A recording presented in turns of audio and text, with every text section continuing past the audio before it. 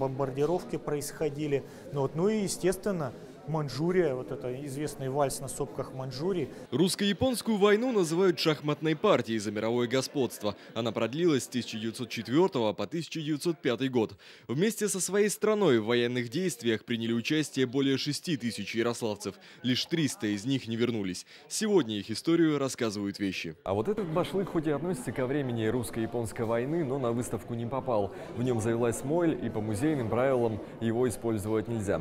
Но предмет, тем не менее, интересно, и в холодное время им согревались. Причем есть такая особенность, если концы башлыка заправлялись в ремень и находились вот так, значит солдат находится в строю. А если они завязывались за спиной, значит человек находится в увольнении. Организаторы выставки, приуроченной к 110-й годовщине русско-японской войны, надеются, что среди посетителей будут те, чьи предки воевали в 1904-м. Нам будет очень интересно, кстати, если откликнутся те люди, у кого остались в семье э, какие-то воспоминания или какая-то история, связанная их семьи с русско-японской войной. Ведь. Выставка получит продолжение. В ближайшее время будут опубликованы списки георгиевских кавалеров русско-японской войны.